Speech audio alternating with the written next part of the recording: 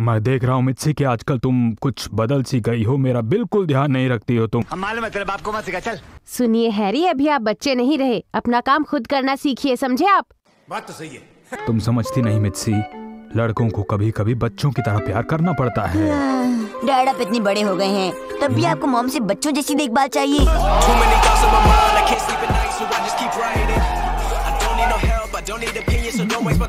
समझ रहे हो? City don't show me no love, and that's fine. Fuck local radio stations, I got more plays than all of these.